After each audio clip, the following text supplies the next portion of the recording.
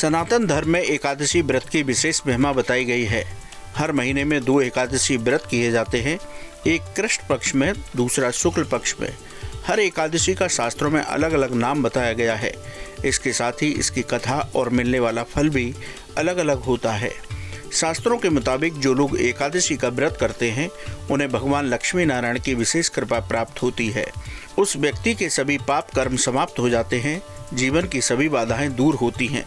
इसके साथ ही व्यक्ति भगवत कृपा से जीवन में आनंद प्राप्त करता है और अंत समय पर भगवान के बैकुंठ लोक में स्थान प्राप्त होता है। यही वजह है सनातन धर्म में एकादशी व्रत की विशेष महिमा है। इस एकादशी को पद्मा नाम से भी जाना जाता है। इस एकादशी में भगवान के वामन स्वरूप की पूजा की जाती है। इस व्रत को करने से व्यक्ति को अक्षय पुण्यों की प्राप्ति होती है। वाजपेयी यज्ञ के समान फल प्राप्त होता है।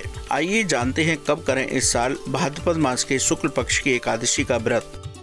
तेरह सितंबर को रात दस बजकर चालीस मिनट पर शुरू होगी एकादशी। चौदह सितंबर को रात आठ बजकर इकतालीस मिनट पर समाप्त होगी।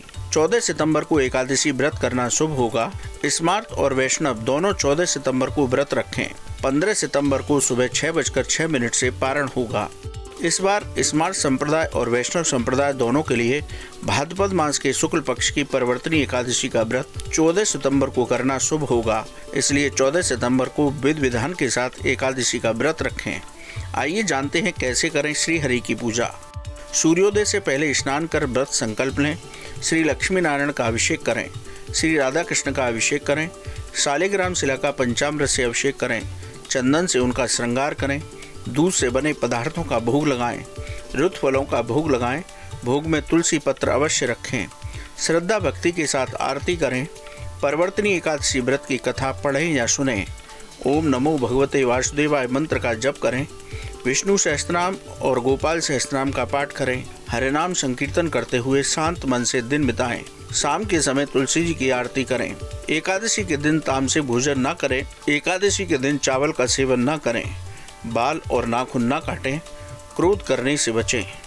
शास्त्रों के मुताबिक हमें इस विधि के अनुसार भगवान लक्ष्मी नारायण की उपासना करनी चाहिए।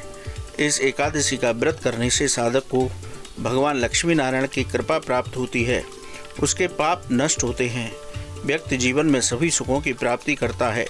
आप भी कीजिए परिवर्तनी एकादशी का व्रत और पा लीजिए श्री हरि की कृपा। दूर कर लीजिए अपने सारे संकट। कैसी लगी आपको हमारी ये जानकारी? हमें कमेंट बॉक्स में ज़रूर बताएँ।